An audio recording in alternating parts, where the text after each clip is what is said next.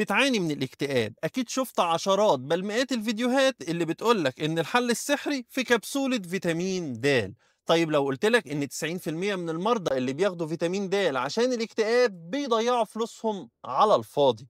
في الفيديو ده هقولك الحقيقة إمتى فيتامين د يكون فعلا فعال في الاكتئاب. ركز معايا عشان الكلام اللي هقوله مبني على الدراسات العلمية الحديثة. خلينا متفقين إن فيتامين د من الفيتامينات المهمة الذائبة في الدهون وإنه موجود في السمك الدهني زي السلمون والماكريل والسردين والتونة وموجود في صفار البيض وطبعا منتجات الألبان والكبدة كمان. وعلى الرغم من إن كل الأكلات دي فيها فيتامين د لكن تركيزه فيها بيكون ضعيف والمصدر الرئيسي لفيتامين د هو الشمس فهي أفضل مصدر طبيعي لفيتامين د. ولكن بعد عام 1922 بقى في مصدر آخر ألا وهو المكملات الغذائية اللي دايما بنفضل ناخدها في حالات وجود نقص حاد في فيتامين د لأن الأكل مش هيعرف يعوض النقص ده. كمان الشمس مش متوفرة في كل الدول ولو حتى متوفرة فبتكون غير مناسبة زي مثلا في دول الخليج. فلذلك الحل هيكون عن طريق المكملات الغذائية. ولكن بما إنه فيتامين ذائب في الدهون فيفضل لما تيجي تاخده تاخده مع أكلة دهنية عشان تحسن من امتصاصه إن شاء الله حتى تاخده مع معلقة زيت زيتون.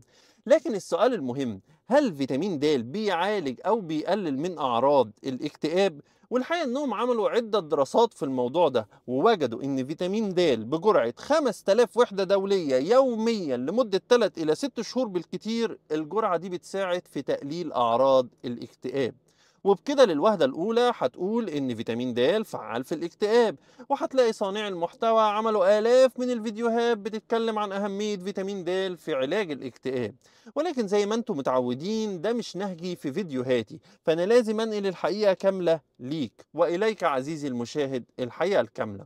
رقم واحد مفعول فيتامين د في تقليل أعراض الاكتئاب يكاد يكون صفر. طالما انت ما عندكش من الأساس نقص في فيتامين د. فوجدوا إن معظم المرضى اللي بيكون فيتامين د عندهم أكتر من 30 تناولهم للمكملات فيتامين د لم يفيدهم في علاج الاكتئاب. رقم اتنين فيتامين د ما كانش فعال إلا في المرضى اللي كان عندهم اكتئاب بالفعل. فما نقدرش نقول إنه بيستخدم للحماية من الاكتئاب للناس اللي ما عندهمش اكتئاب. رقم ثلاثة فيتامين د في الأكل لن يساعد في علاج الاكتئاب. حتى لو عندك اكتئاب بالفعل وناقص في فيتامين د. والسبب إنك لازم تاخد على الأقل 5000 وحدة دولية في اليوم والأكل عمره ما هيعطيك الكمية دي. ده حتى المكملات الغذائية اللي تركيزها أقل من 5000 لن تفيد.